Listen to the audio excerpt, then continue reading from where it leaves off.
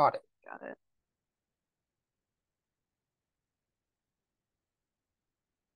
Okay, great. So welcome to lecture 10. We're going to be talking about machine learning for biochemical application, or we're in the machine learning for biochemical applications class, um, and we're going to be talking about protein structure prediction today. Uh, I'm Daryl. I'm Philip.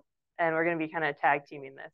Um, so as always, please feel free to raise your hand, ask questions during, um, and we'll hopefully give you a good overview of um, what the state of the art for protein structure prediction is and a little bit of history. I think the first question is why does protein structure matter? Uh, so we might be um, preaching to the choir on this one, um, but we thought it would be helpful to go back to the beginning. So um, these are the four main structures of proteins kind of building up. You start with your primary structure, which is the amino acid, and then you get your secondary structure, which are the alpha helices and the beta sheets. And then those fold up into tertiary structures. Um, so the alpha helices, beta sheets, and also disordered regions start to fold around each other. And then those are typically considered to be subunits um, or proteins themselves that can fold up with other proteins or other subunits to create like dimers, homooligomers, like your huge molecular machines, that kind of thing in your quaternary structure. So um, one of the big questions has always been, is an amino acid all you need to actually predict protein structure? Um, and this question really came about um, or like started gaining steam 50 years ago um, and it was with this guy right here. His name was Anfinsen. And he, with two other scientists, won the Nobel Prize for their work on ribonuclease A.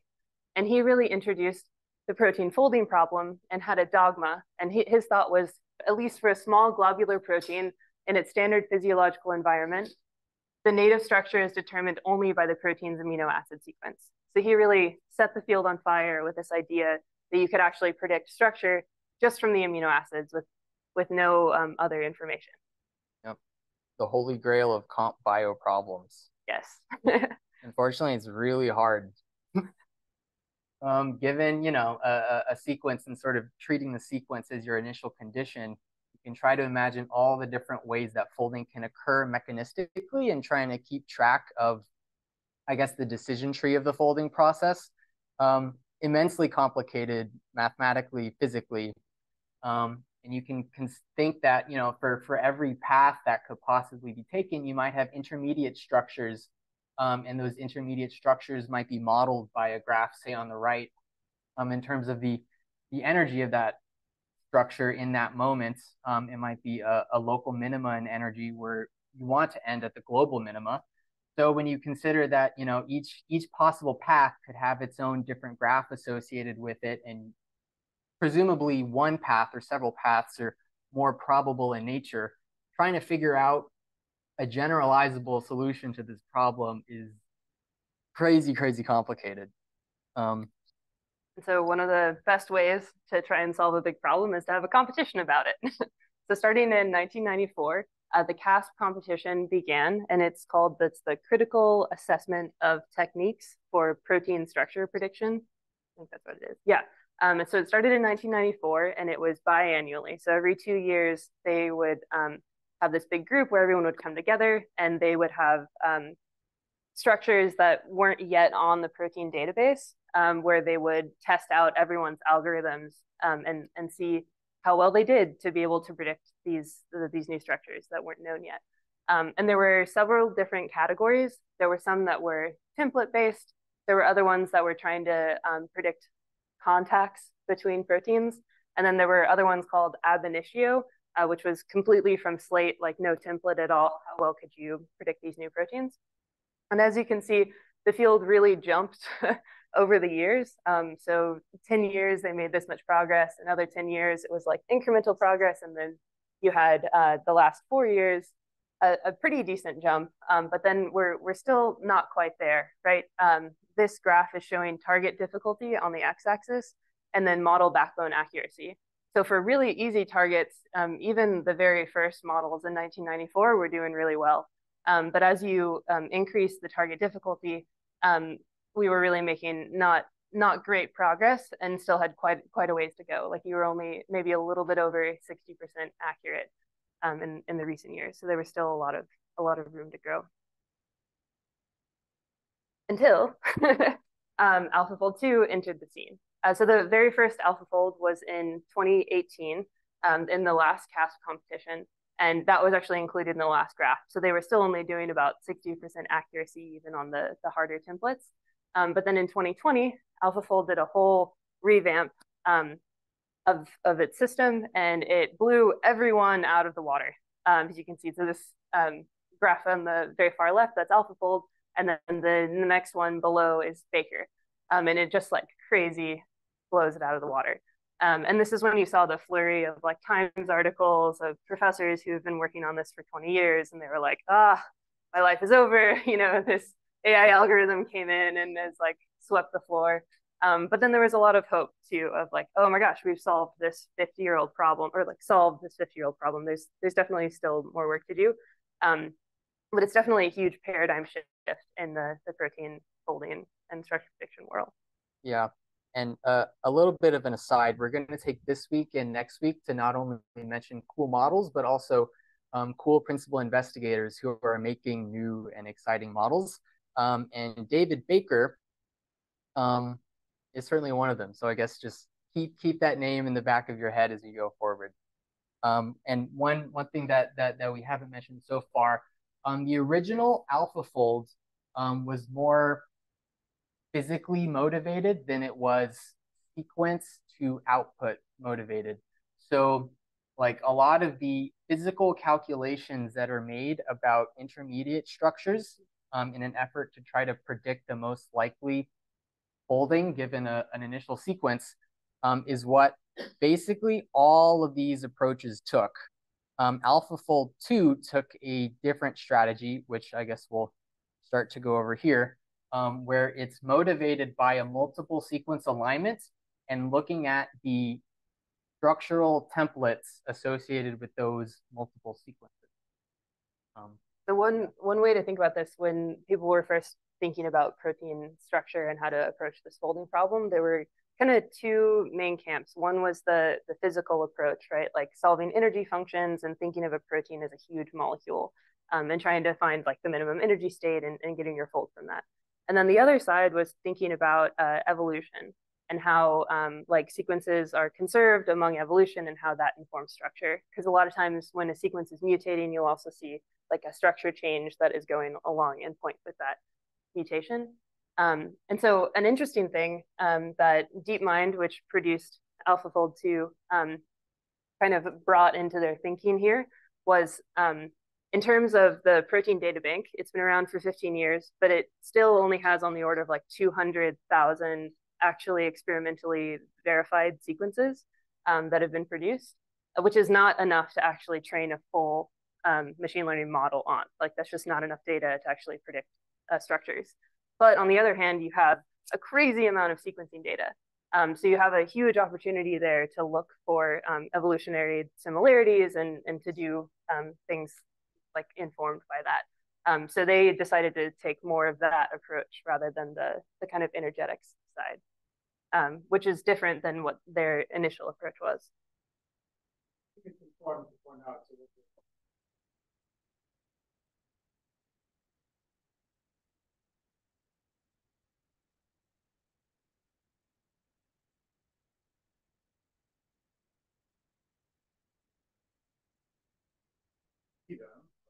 That means that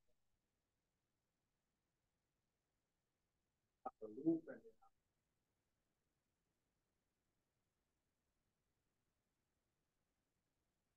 not invent about no. like a long history of current structure.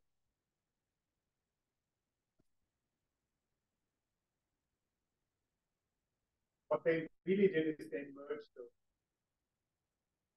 variation, but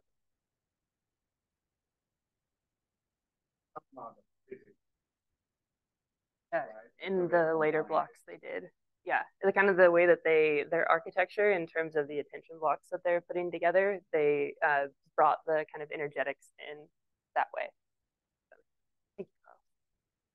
Yeah, we actually have a what what is an MSA? Yeah, which, which Klaus um, segued really really well into um, I guess the the underlying philosophical approach to if if if we're assuming that sequence is all you need to define structure, then if we're interested in the structure given a sequence, if we just study similar sequences and the structures that those sequences are associated with, then we can infer a probable structure given our sequence that we're interested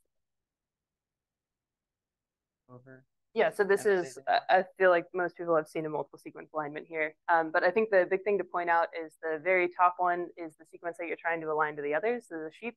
And then as you go down, you have um, like different species that also have very similar sequences in it. If that makes sense. And so, uh, as Klaus was saying, you're looking um, for the overlap. So, like the you wouldn't be able to see it in this one, but um, if you could see the structure as well, maybe you'd see like, oh, um, this it, like this there's a mutation happening here, and then it's also happening here, and so maybe uh, these like are connected in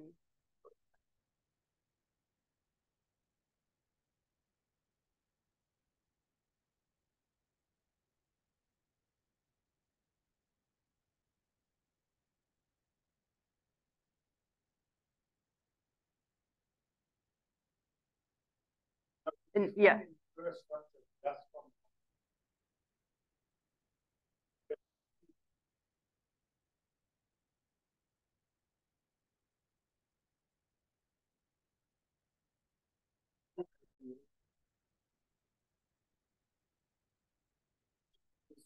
Multiple variations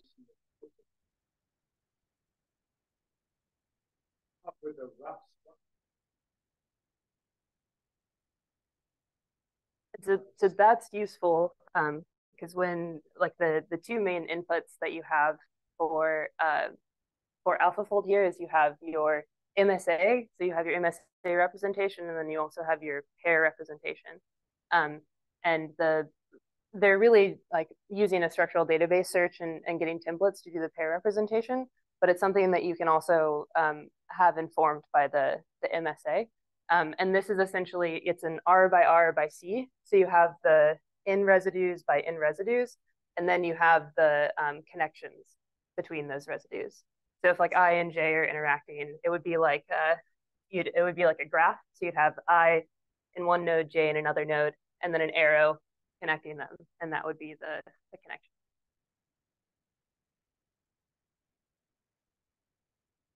Oh,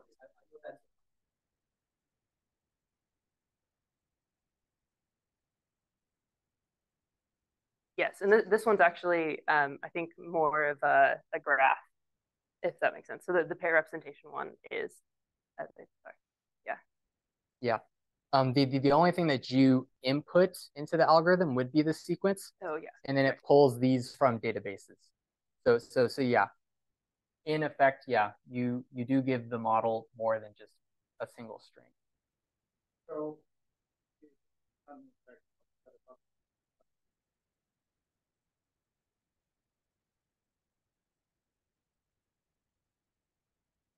Does that happen here or does AlphaFold happen?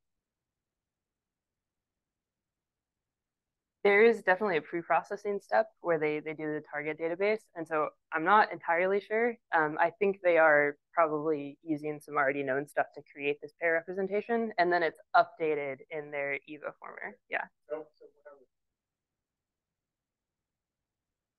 Let's say if you have two that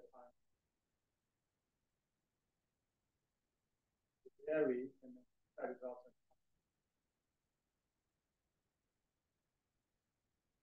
direct company.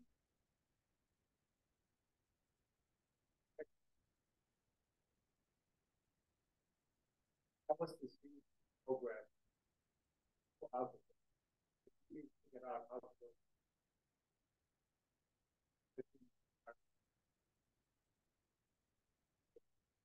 directly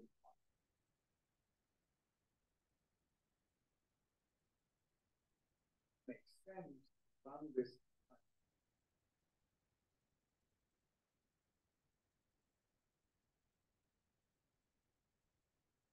mm.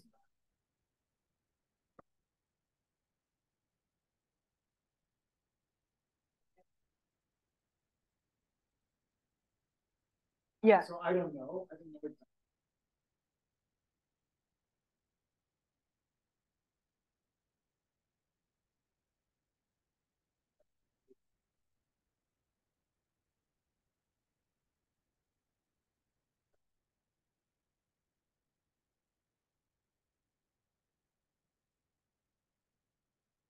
So the, these are essentially built. So like you take your input sequence and then they go through a structured database search and find templates and have something kind of similar to the MSA for pairing and then generate this pair representation.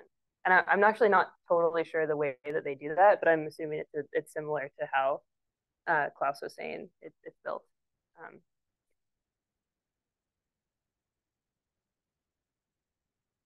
Yes. So when they were training, they like they made sure to exclude any of the actual templates, so they weren't trained. It wasn't circular. Um, but I'm not totally sure what happens nowadays. I think it might just find it and like, this perfect structure.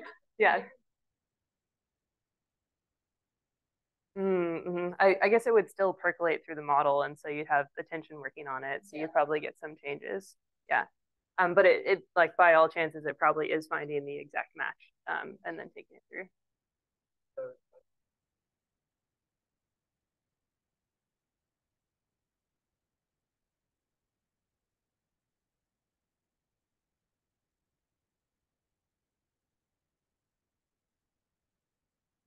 Yeah, I'm, I'm actually not totally sure. What what it looked like was just showing a connection.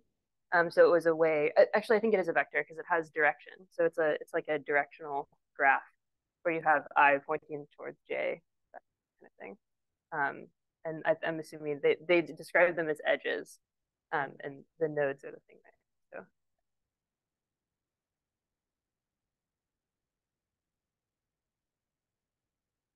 Yes. This Oh, sorry. Oh, yeah, the, this house is not on that screen. No, that's funny. Oh, sorry. yeah. Uh, so essentially, the I guess we can go on to the yep. uh. Oh yeah, we were talking about all that. Um, yeah. So the evoformer, and actually, we might want to just pull up the slide of the evoformer. That was at the end, right? Yeah. Uh, okay. Sorry. Ignore. ignore. You haven't seen look. this. We weren't sure if we wanted to actually go into this, but it, I feel like people are excited about it, so maybe we should actually look at the evoformer. Okay, so we have our pair representation and our MSA representation that was created as like pre-processing before we actually go into the AlphaFold model. Um, and this is kind of under the hood of the evoformer. And the way that AlphaFold describes it is they talk about it as sort of mixed attention. Um, so you have your like normal attention blocks, and then you also have these kind of triangular self-attention blocks. Um, and then they make a big deal about how they're using the pair representation to uh, inform the MSA representation and vice versa. Um, and then it runs through this entire block uh, with an outer product mean between the like mixed MSA pair representation, and then you take the pair representation, and then it goes through these 40, uh, like another 48 or 47 rounds of this, um, and then outputs the sort of weighted changes on the MSA representation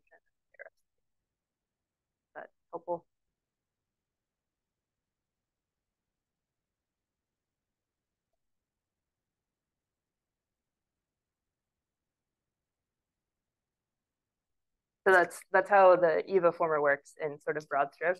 Um,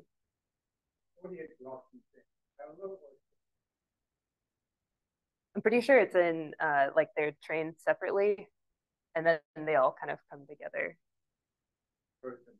in parallel. Yeah.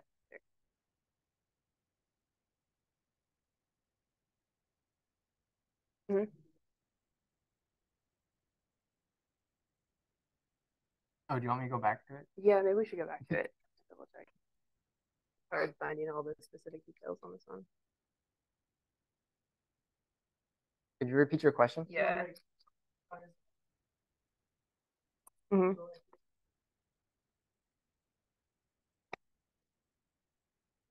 Yeah. Mm-hmm.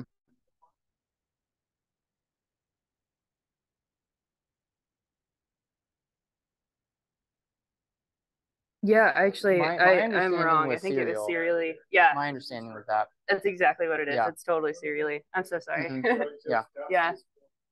Yes. Yeah. yeah. It's going through and updating 48 times. Yeah. yeah and then and then you output and you have your MSA. I was wrong. I'm so sorry. cool. yeah, going, going back. Should have grabbed those. Where were we? Yeah, you were here, right? Yeah. So then you have your uh, your changed MSA and your pair representation. And then in your structure module, this is where you're actually forming the backbone of your protein. Um, and so you have your pair representation going in, and you actually just take the initial, like the top single representation from the MSA. Um, and that one is like connected to your input sequence. Like that top one would be what your original input sequence is, but now it's been changed by all of the attention in the Evoformer. Um, and so you take your single representation, your pair representation, and then you have um, a backbone matrix, which is um, rotations and translations. And it's essentially just an initialization matrix. So all of your rotation positions for each of the residues are going to be one, and all of your translations are going to be at the origin. And then it takes it through the structure module and uses the MSA representation and the pair representation to essentially update your backbone um, and figure out like the right rotations of the residues um, and where they are in relation to each other. So those are like the translations and the rotations. And then outputs a 3D structure.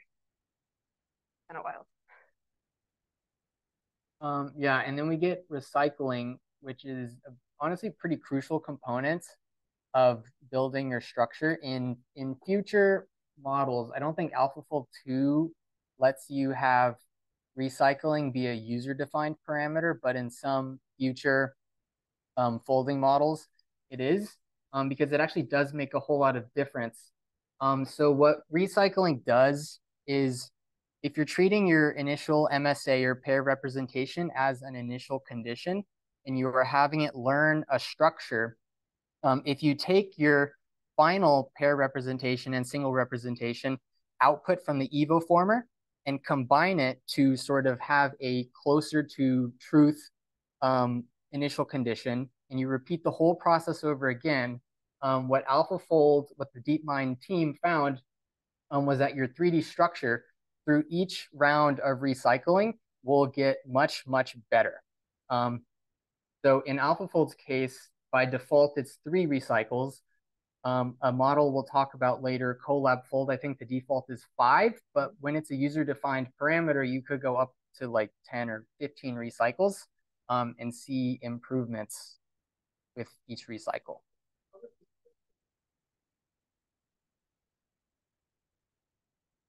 Um, which structure? This Your... uh, 3D structure. Yeah. So the, oh. the 3D structure is made up of the backbone that comes out of here, and then also uh, like it, the amino acids are decorated from the sort of single representation that you have. Um, and so I think what it does is it takes the sort of last instances of the pair representation and the MSA representation from the structure module and recycles that back into it. But you're not actually taking the, the 3D structure, you're taking um, these matrices that have already gone through the structure module and then inputting them at the beginning. to kind of like re-model. With them.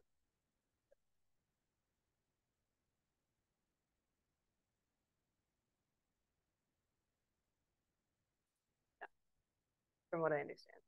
Um, and I couldn't find a clear answer on this, but I'm I'm pretty sure it it either like will reset a new backbone or use the backbone that it it already has. Um, I couldn't find a clear answer on what it's doing to the backbone. yes. Good. Good. Good question. segue. Good segue. yeah. How do we know it works? Um, so there's two main measures um, I mean, so one, you can uh, just compare it if you have a known crystal structure already, you can um, look at them and see if there's any overlap, but actual confidence measures are coming from three Ps. So they're called pLDDT, uh, PAE, and PTM. Um, so pLDDT is, they're all predicted. So the P is predicted in all of them. Um, LDDT is um, local distance difference test. Um, and that was, that came about, I think, like at the beginning of all of this protein structure folding. People wanted a way of um, figuring out whether you're actually finding the right structure or not. Um, and so literally it's like you have one protein, you have the other protein, and then locally, how far away are the residues from each other, um, if that makes sense. And so um, you can look at this, these are images from the um, AlphaFold's paper where they're comparing um, LDDT values to their average pLDDT. Um, so I think they have like a small module that they use, right, to predict LDDT. I'm not entirely certain what computation goes into um, computing these statistics, um, but LDDT, AE, and TM are from actual crystal structures, correct? Um, and so um, because you don't have an actual crystal structure to compute these ground truth statistics, AlphaFold, the AlphaFold team uh, made algorithms to do this in silico, is I think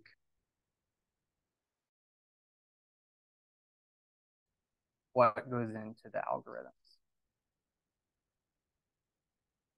Yes, yeah, and then they've been able to um, figure out like a prediction of that. So even if you don't have the ground truth, you can still predict the amount of error that you would expect to see between the residue. Yes.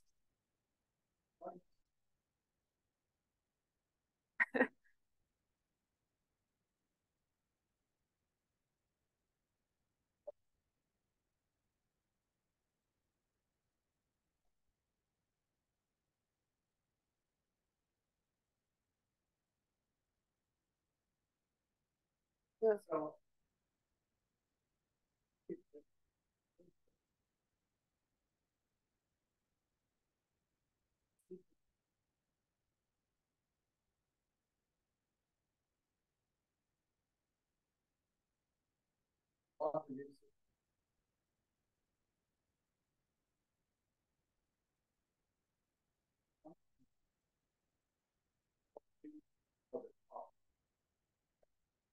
we have found that that correlates with the probability on average low probability average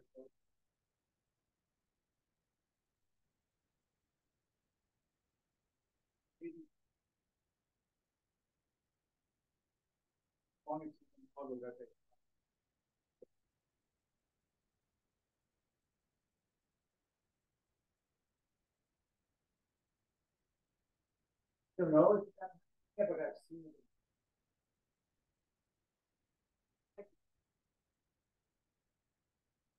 No, they're yeah, they're they're so in these they're basically comparing it to when you do have a ground truth, how how well does it track? And they they have a like, pretty nice comparison. Mhm.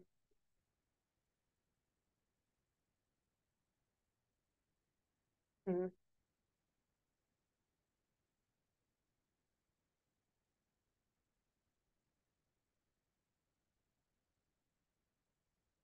Of the actual uncertainty, exactly. Uh,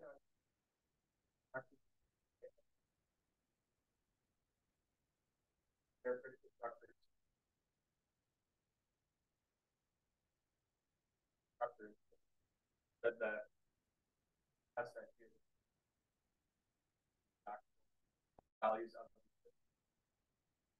Yeah, that's what you said. yeah.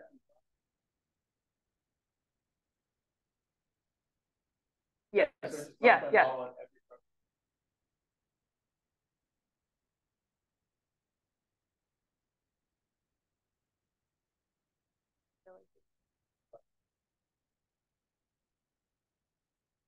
How's the model of that? I don't know.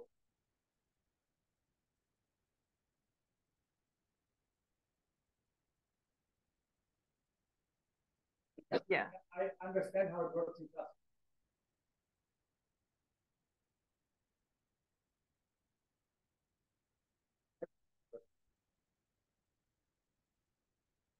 No, no, but, uh, the-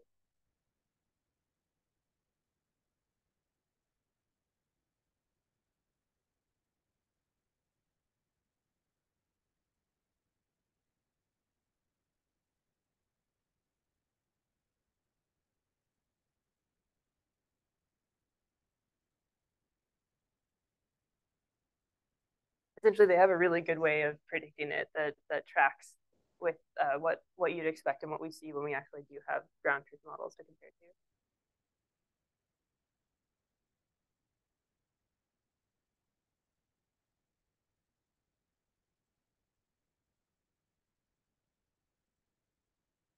What do you mean by encoding similarity?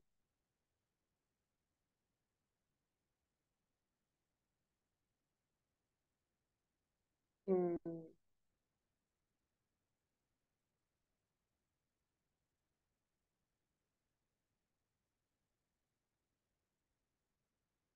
It, it should be the same throughout. Yeah, I think I think it's just um, like your measure of where you would like the amount of error that you would be expecting. Um, and so PLDDT is happening like kind of locally. Actually, the next slide would probably be more useful for PLDDT. Um, so PLDDT is happening in like specific regions of the proteins. Uh, so the one on the left here is probably the most useful. Um, you have your per residue confidence coloring for PLDDT. Um, and very high confidence is in blue here. So you see there's like particular regions where it's really confident about the folding happening. Um, and then there's also regions where you, it, it is not confident at all. And those typically are the more disordered regions in your, in your proteins. Oh, I thought you were going to say um, yeah, so that this is how PLDDT typically comes out. And then there's also kind of an average score for the whole model that will come out for like every model. Um, and if it's above 90, it's like very confident. Um, below 50, don't trust that fold essentially. Um, and those are typically disordered. But then between um, like 70 to 90 is typically well accepted in the field.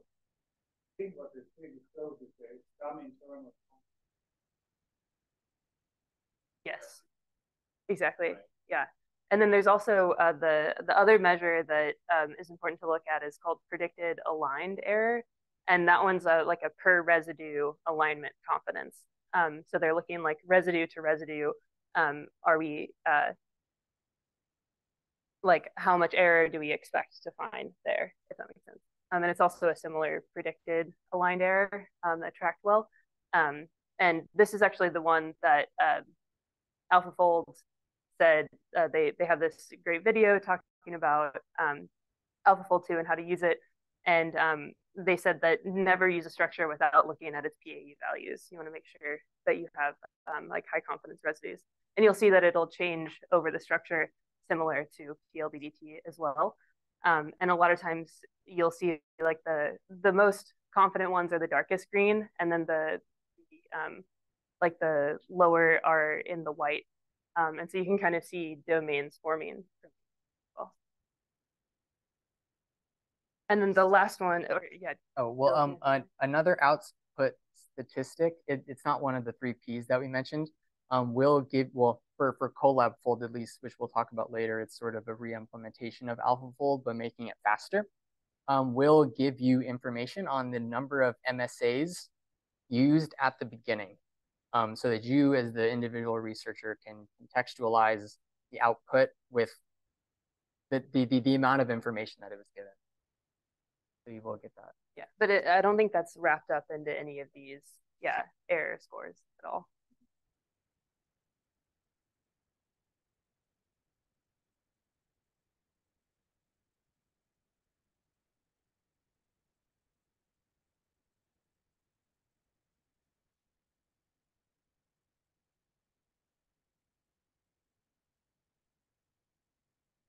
I think for the most part, it's a disordered region, so the model doesn't know what to do with it, and then it gets ranked as low confidence. So there's kind of a there's definitely a correlation, and I think it starts. Oh, yeah, yeah.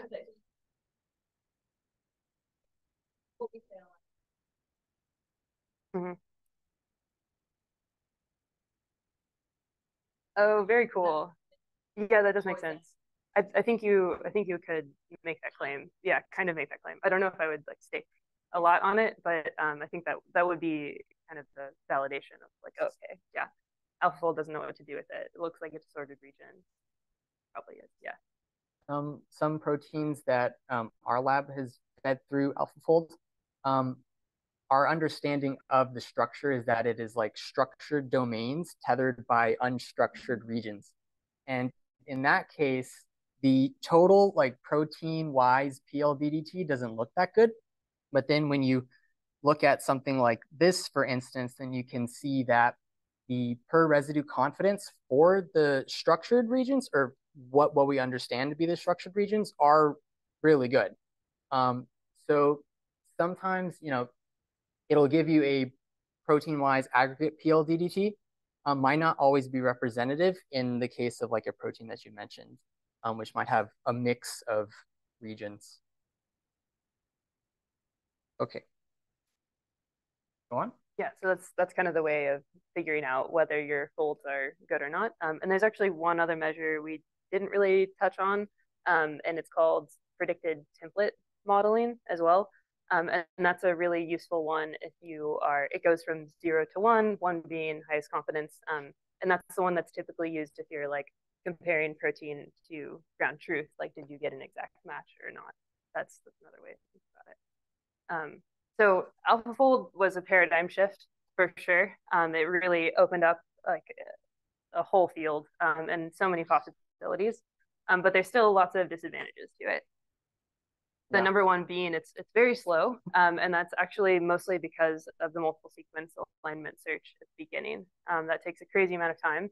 Um, it also needs to store the sequence database, which is about two terabytes. So that's a crazy amount of space that you need to have to run it.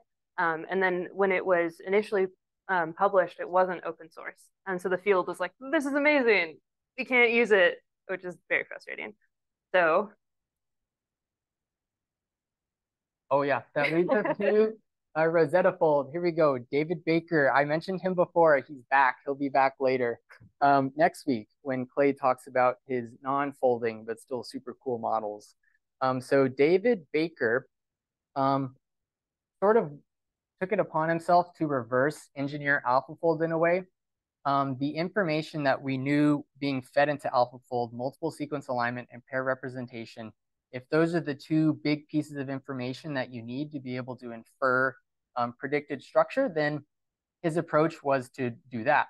Um, co-evolutionarily or co-evolutionary data from sequence alignments, um, as well as using attention-based neural network architecture. Um, we're not going to go in like we we have the diagram of the model here. We're not going to go into it all that much because RoseTTAFold isn't used all that much nowadays. Um, but at the time, it was an important open source re-engineering of AlphaFold, so to speak, um, that took MSA and um, uh, pair representation. So now we have our updated disadvantages to AlphaFold, um, where RoseTTAFold filled that gap. Um, unfortunately, um, somewhere along the line, AlphaFold became open source, um, so people still defaulted to that, um, although some still use RoseTTAFolds. Um, however, it's still slow because you still have to go through a, a, multiple sequence alignment search, and it is a large storage for sequence database. Um, so this is sort of where evolutionary scale modeling, the ESM crew and ESM folds um, came in to fill that need. it was a meta project launched in 2020 22, canceled a year later, but the team is they made their own startup or they're making their own startup. Yeah, looks like they got funding for a new startup. Yeah. Yeah. So what they did in effect was they replaced the multiple sequence alignment with the large language model. Um, so you're sort of just embedding the patterns of multiple sequence alignment into uh, the learned patterns in the LLM. Um, it's extremely lightweight by comparison. Uh, the largest ESM2 size is 30 36 gigabytes, um, tiny by comparison to the AlphaFold 2 sequence database. Um, and I've, I've set it up. It takes like no time at all. Um, it's really fast, super easy to use. Um, it's been described as leaner, simpler, cheaper. Um, these are some statistics that came out um, to try, or sorry, I, I, keep on using the mouse on here thinking it shows up on here. Um, here are some statistics that they use to try to prove um, ESM comparability to AlphaFolds. However, notably, it's not as accurate. Um, so you do take that hit in accuracy um, despite being super fast and super lightweight. Um, this is a broad overview of the model um, where you've replaced the multiple sequence alignment with an LLM. Um, they say in the paper, they, they admit that they borrowed a lot of the folding and structure architecture directly from AlphaFold. So you can sort of simplify this model as take out MSA, add LLM, um, and then of course they needed some fine tuning in order to make that work so that the, the um, output embeddings of the LLM are compatible with the downstream steps. But in effect, this is the, the benefit of ESM.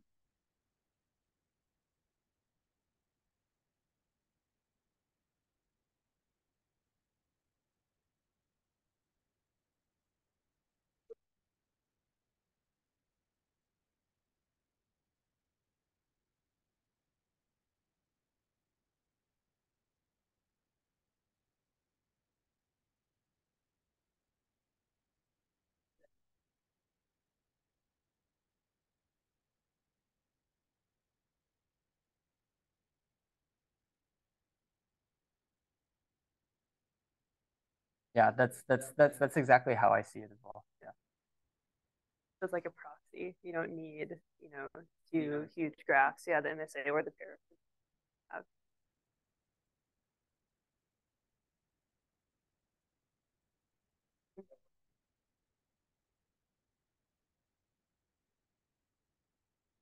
That could be cool if you like look at the embeddings that come out of ESM2 and like compare them to what that you would get out. I wonder what that would. Uh, like what you want, what is the title Mm-hmm.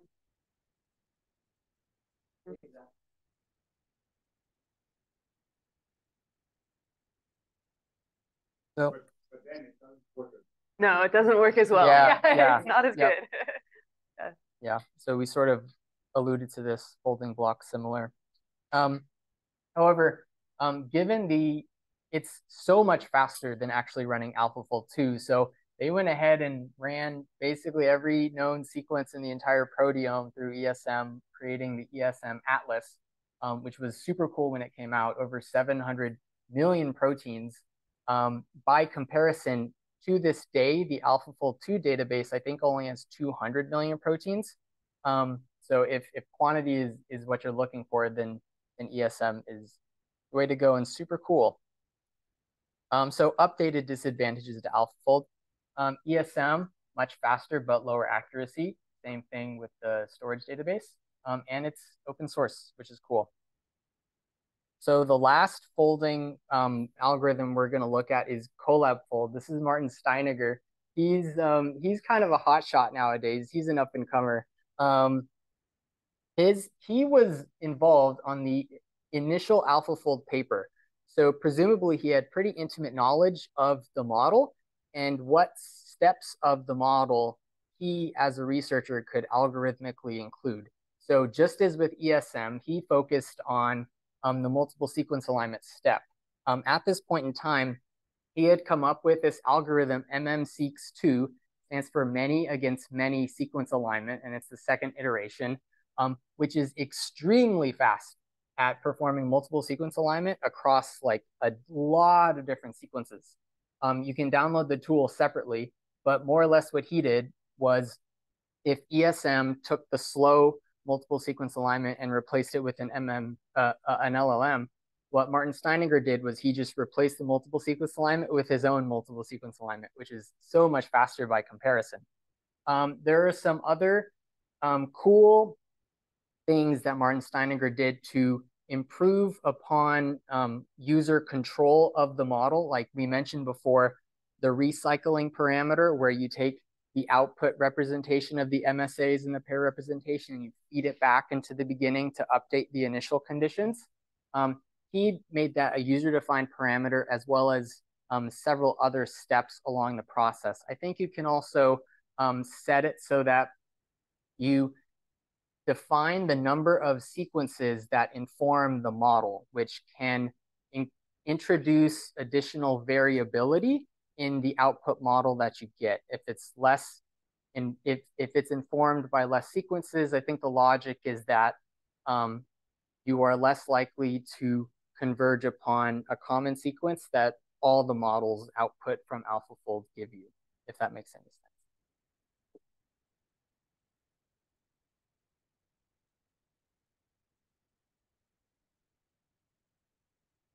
Yeah, um, that's I've I've tried looking at the paper. It's pretty dense. Um, and then the the manual for MMSeq2 is also similarly dense. Um, I think part of the process involves um, a linear clustering scheme, which will align up to 50% homology. um, which I think gets you part of the way there, um, but I'm not confident in that, so I'm not sure. But MMSeq2 was its own separate project that he then applied to um, AlphaFold to get ColabFold. So for, for me and, and for Daryl at least, this is the default um, folding software that we use. Most, most people use. And I think Steinegger was also responsible for creating all of the Google Colabs for the AlphaFold and collab folds and multiverse. Um, so he also really worked hard to make it open source and super accessible for people. So you didn't even have to use command line; you could go online. Oh, and then a, a little fun tidbit: um, all of his tools have an associated cat cartoon. So this is the MMC cat cartoon, and this is the Colab fold um, cat cartoon. Just thought it was fun. When when you go to his lab page, you'll see a lot of these fun little cartoons. Um, so okay, updated disadvantages to AlphaFold. Um, we have two alternatives um, to try to address the slowness issue. Um, the new hotshot being ColabFold. Um, and so I think this brings us to one of the last slides. Has protein folding been solved? Um, inferentially, yes, maybe. Like if you have a lot of sequences and structures to compare your sequence of interest to, then you can be pretty confident that what you'll get is close to reality. Um, however, this doesn't, this obviously doesn't give us a mechanistic understanding of it, um, as well as if you don't have that many sequences that align to what you're interested in, what you get, you probably can't trust that much, which might be tricky for, I guess, what's what's it called, like edge case proteins or something like that. Yeah, like the dark proteome type things. Um, if y'all have heard of that. yeah. Kind of fun. Um, but sequences that haven't really like they're kind of new in terms of evolution and don't a lot of uh, similar proteins. Cool. That brings us to this. Um, yeah. did, did, you want to run us through this? Uh, I think uh, I think we're a little short on time. It, okay. it, takes a little bit long to run through one of these things, and I, I think people here have already used the Colabs and stuff. Um, but there are some great Colabs that are available online. Um, ESMFold and ESM Atlas. Um, ESMFolds, you I think have to install locally, but ESM Atlas, it's that um, fun, essentially like huge cluster of proteins. If you have particularly like a metagenomic protein and you want to go look for it and see where it lands among the whole space of like 770 million proteins. That's that's great to use. Um, if you just want to try out AlphaFold or ColabFold, these will link to ColabFold notebooks that you can use. And then also, if you want to try RoseTTAFold, um, you have to make an account, but the Baker Lab also has a, an online hosting source for that too. Um, That's it.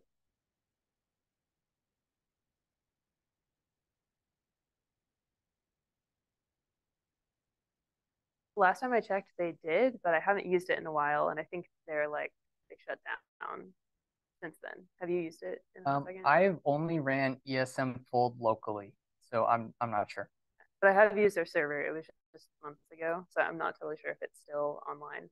Um, but their Atlas is still functioning though.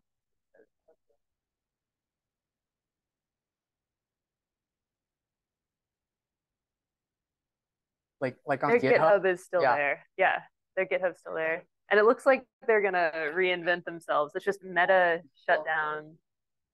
Yeah. oh yeah, that's a great idea. We totally should.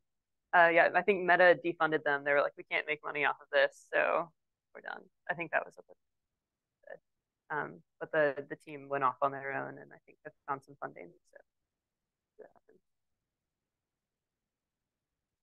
yeah. it. Yeah, thank you all.